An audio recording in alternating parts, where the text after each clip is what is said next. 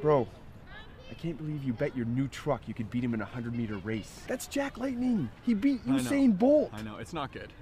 It's not like you have a runner's physique either. True, true. Uh, name calling. There's gotta be something that could make you run faster I- I somehow. need a miracle. What?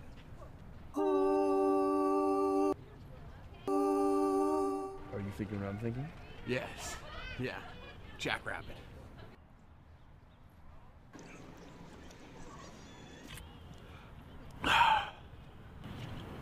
Ready.